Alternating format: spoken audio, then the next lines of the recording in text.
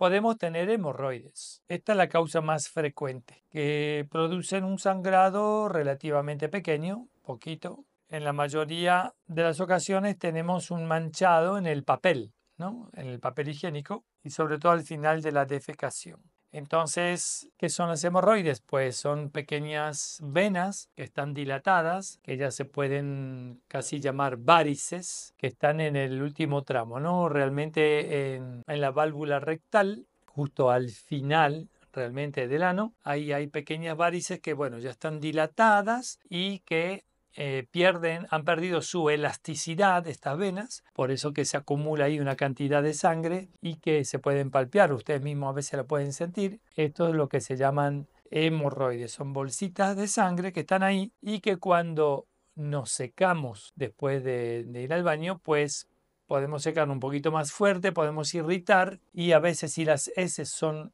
duras, un poco especie de estreñimiento, que las heces están secas y duras, pues pueden provocar el daño de estas pequeñas venas y hacer salir un poquito de sangre hasta que la vena se vuelva a cerrar. Habitualmente se hace rápidamente. Otra de las causas es tener una fisura anal. Normalmente es un desgarre, ¿vale? En la mucosa del ano el sangrado es escaso, de color rojo claro, y se produce eh, dolor al defecar durante el paso de las heces. Eso lo que lo pudo haber provocado es también un estreñimiento importante y que las heces están realmente muy secas y que al empujar pues se dilata tanto eh, el ano que puede producir una fisura. Ese también puede dar algún sangrado. Después podemos tener divertículos que son bolsitas situadas en el colon o en el intestino grueso, pueden producir, esto también es una forma de la pared del intestino que está dañada o realmente muy alterada, que pierde su elasticidad, y también que están formando pequeñas bolsitas que pueden producir un sangrado brusco pero sin dolor. Después podemos tener pólipos, que son formaciones anormales del tejido que crecen en el colon. Aquí también el sangrado es escaso y sin dolor abdominal.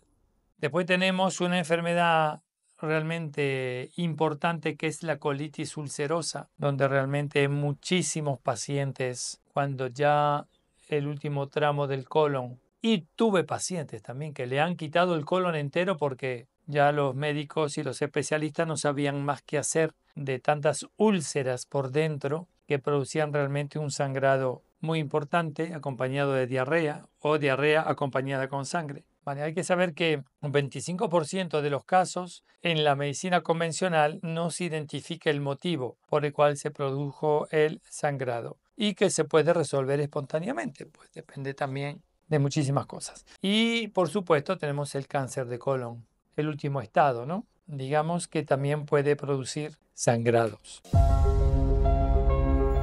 Si el sangrado es leve o moderado, con pequeñas cantidades de sangre que se suelen observar en el papel higiénico, puede ser tratado por el médico de familia, ¿vale? Con intención de buscar las causas que lo originan. Importante hacer un diagnóstico para entender qué es lo que está pasando. Es fundamental. Ahora bien, si el sangrado es abundante, ya es una urgencia clínica. Ya habrá que acudir a la clínica ver directamente, hacer una exploración y ver qué es lo que está pasando ahí. Después depende del diagnóstico, de lo que se ha realmente encontrado, vamos a actuar en el tratamiento.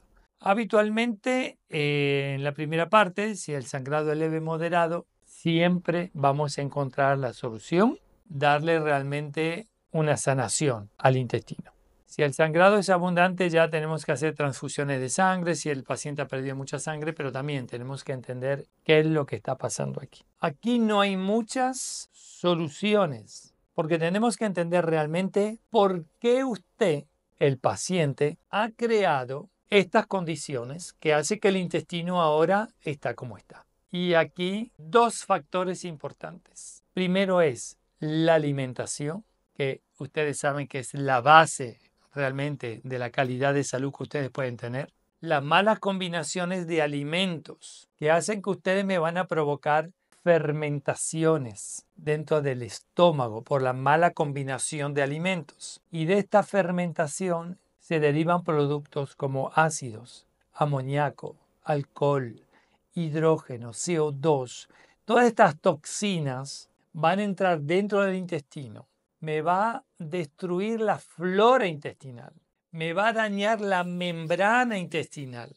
Y voy a tener intestino agujereado.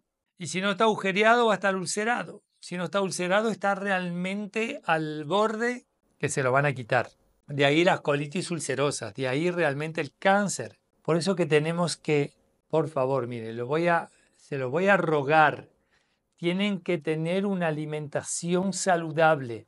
Sin eso van a tener siempre problemas digestivos, intestinales y muchísimas otras más enfermedades, hasta el cáncer. O sea que no podemos jugar con la alimentación por la cultura de cada país que puedan tener, que se mezclan todo, o las falsas creencias que le dicen que para tener una comida balanceada hay que poner de todo en el plato. No, señores, no podemos más jugar con eso. A ver si nos ponemos las pilas una vez por todas, ¿sí? Y después la segunda condición son las emociones. Las emociones están implicadas también en los problemas intestinales. ¿Cuál es la emoción relacionada con el colon? El intestino es la tristeza.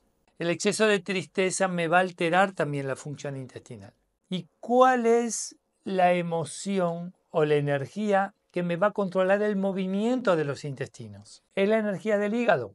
Y la emoción relacionada con el hígado es la ira, la rabia, la frustración. De ahí vienen todos los problemas de colon irritable, un montón de historias. De ahí vienen las diarreas, los estreñimientos, en alternancias a veces también. Todo eso está relacionado con la energía del hígado que ustedes la han desequilibrado por un exceso de emoción, de ira, de rabia, de frustración. ¿Se están dando cuenta que esas dos cosas ustedes no las están equilibrando? Los que tienen realmente problemas intestinales no están teniendo una dieta saludable y no están teniendo una mente positiva.